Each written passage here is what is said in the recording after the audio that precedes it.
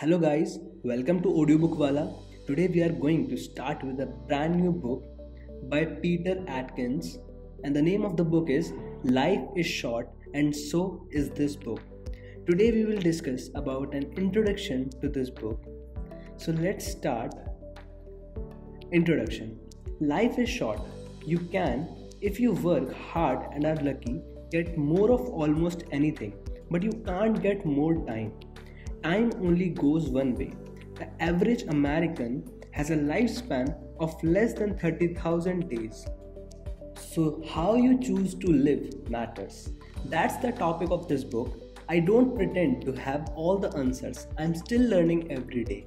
And many of the good ideas here I have picked up from other people either directly or by reading. But this is what's worked for me. Like life, this book is short Many books I read could communicate their ideas in fewer pages, so I have tried to be brief in line with the wise person who noted if I would had more time, I would have written a shorter letter. I don't think brevity implies lack of content. The concepts here have improved the quality of my life and I hope they are useful to you as well. Using these concepts to I have created a life I love. My job doesn't feel like work. I love and respect the people with whom I spend time. And I am also passionate about my life outside work. I have learned how to create a balance that makes me happy between work and other interests, including my family, friends, and exercise.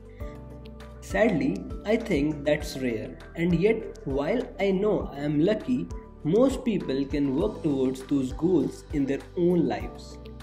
My interest in making the most of my life began when I was just starting college, but when I was in my mid 30s, a boss I admired died of cancer. He was young, he had a great wife, he had three young children, he had a fantastic career, he had everything in life. He just didn't have enough time. So, while I had often thought about how to get the most out of life, the death of someone so young and vital increased my sense of urgency to act on it. One of the things I have always wanted to do was to work for myself. As a result, I left an exciting job at Microsoft in 2001 amidst the internet buzz to found the investing firm I now run. It was hard to do both financially and emotionally. When I left Microsoft, many people, friends, family, and even some of the press thought I was deluding myself to start a fund focused on internet related companies during a market crash. A press quote from the time said, Call him a little crazy, call him a little nuts.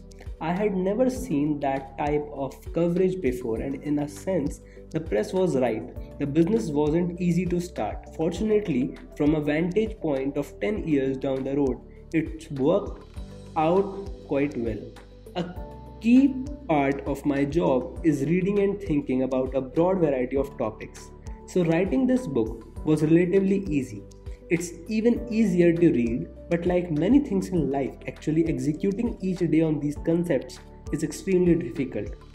With thanks to Thomas Edison, life is 1% inspiration and 99% perspiration. Even so, I hope you have fun perspiring. Peter Atkins, Seattle, December 2010.